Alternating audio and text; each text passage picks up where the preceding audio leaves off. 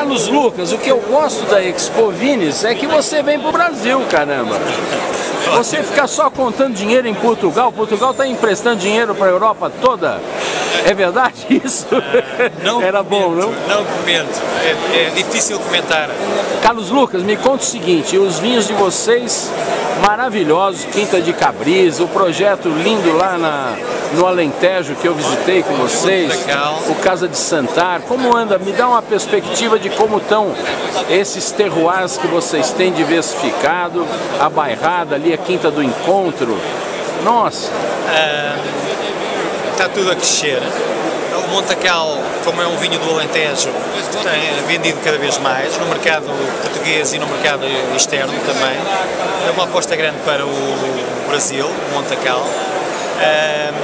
Casa de Santar, eh, que é uma das referências de vinho do Dão também, eh, está a crescer muito na classe dos reservas.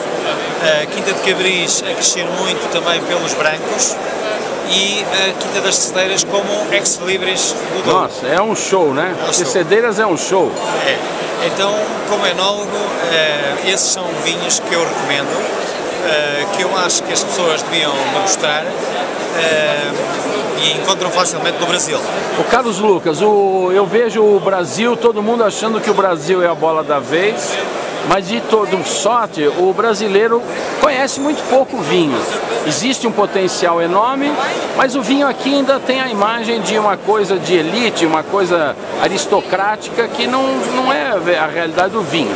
Você acha que nós vamos atingir um nível mais desenvolvido logo? Eu- Qual a tua impressão? Eu vou responder fácil. Uh, 10 anos, uh, Estados Unidos, ninguém diria que em 10 anos se tornaria o maior consumidor de vinhos do mundo. Passou É a verdade. França, É passou verdade. todo mundo.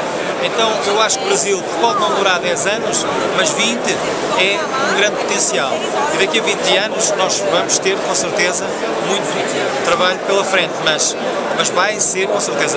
Assiste-se a um crescimento rápido, assiste-se a vinho à taça nos restaurantes, na carta dos vinhos dos restaurantes, assiste-se a vinhos de gamas acessíveis, boa qualidade, então o Brasil vai ser certamente uma das referências do consumo mundial. Bárbaro. Obrigado, meu amigo. Espero te ver mais aqui, Prazer. com mais frequência. Grande abraço para você. Obrigado, Carlos.